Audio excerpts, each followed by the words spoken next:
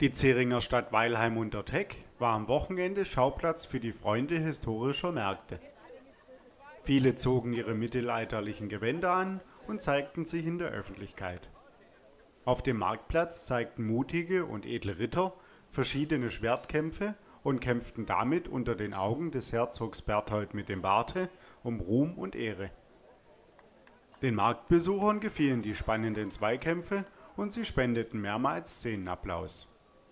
Aber auch die zahlreichen Marktstände hatten viel zu bieten. Da konnten Brände oder Whisky vom Obst der einheimischen Streuobstwiesen versucht und erstanden werden. An anderen liebevoll geschmückten Ständen gab es Dekoratives für die eigenen vier Wände. Zeringer Städte gibt es in ganz Europa, auch in der Schweiz. Aus Murten, eine Seestadt im Kanton Fribourg, war eine Delegation in Originaltracht angereist und sie hatten eine Spezialität dabei. Der sogenannte Niedlechküche, ein süßer Sahnekuchen, war für die Schleckermäuler am Zeringer Markt der Hit.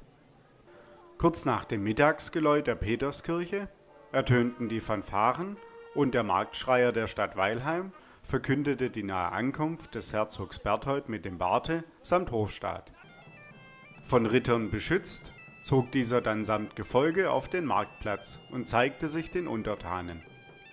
Diese freuten sich über den adligen Besuch und spendeten viel Beifall, nicht zuletzt für die schmucken Gewänder.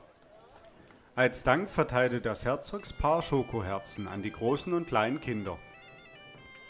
Wer sich für die Mittelaltermusik interessierte, kam beim Brunnen am Marktplatz auf seine Kosten.